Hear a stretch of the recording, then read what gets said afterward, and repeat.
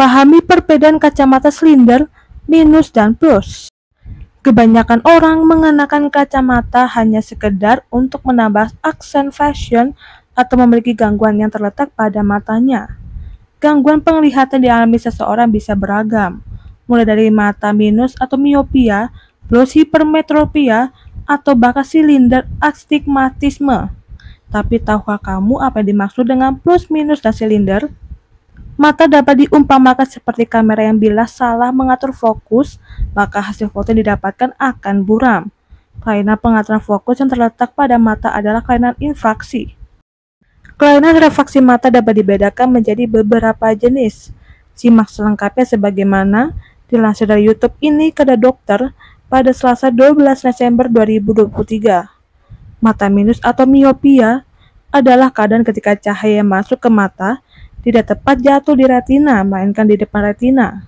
Keadaan ini bisa disebabkan karena sumbu bola mata yang terlalu lonjong atau karena kornea atau lensa terlalu cembung.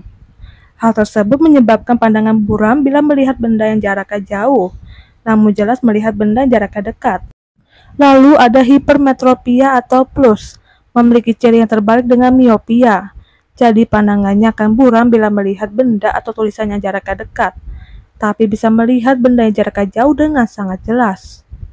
Penyebabnya adalah karena cahaya masuk ke mata jatuh ke belakang retina.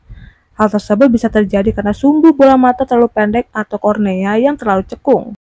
Yang terakhir, mata silinder biasanya memiliki ciri-ciri pandangan berbayang dan sulit melihat garis lurus, baik saat melihat benda dengan jarak dekat maupun jarak jauh. Penyebab dari kondisi ini ialah proses penuaan yang membuat lensa mata jadi kaku dan sulit untuk mengatur fokus cahaya. Presbobia biasa dibantu dengan kacamata dengan lensa baca. Jadi menurutmu gimana Hoppers? Tulis di kolom komentar ya. Baca berita selengkapnya di www.hops.id.